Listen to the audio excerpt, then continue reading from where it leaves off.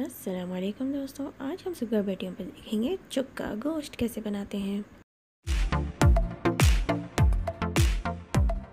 ये मैंने लिया है आठ से नौ पंचेस चुक्का भाजी के, और ये थोड़ी सी खट्टी होती है। ये देखिए, मैंने ऐसे अच्छे से इसे चॉप कर लिया है, वॉश कर लिया है पानी से और ड्रेन भी कर लिया है।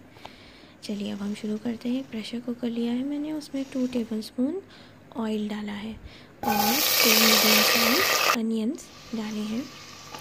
फिर थोड़े से हम ग्रीन चिलीज डालेंगे। फिर हम डालेंगे one teaspoon ginger garlic paste half teaspoon turmeric powder और फिर डालेंगे one teaspoon red chilli powder और इसे अच्छे से मिक्स कर लेंगे हम मसाले को।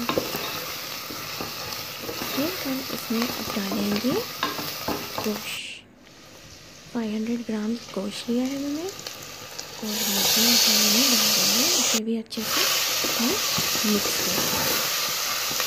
मिक्स करने के बाद हम इसमें खटास लाने के लिए थोड़ी सी टमाटे, दो टमाटे डालेंगे कटे हुए।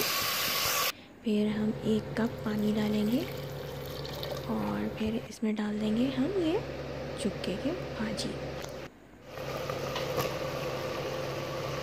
इसे भी हम अच्छे से मिक्स कर लेंगे अब। और फिर इसे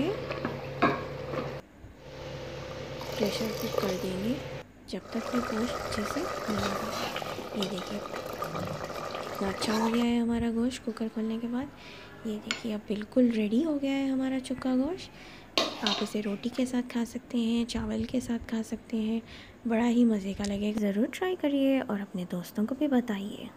अगर आपको हमारा वीडियो पसंद आया तो प्लीज़ सब्सक्राइब करिए हमारे चैनल को और फॉलो करिए हमें इंस्टाग्राम पे। लाइक शेयर और सब्सक्राइब करिए। Thank you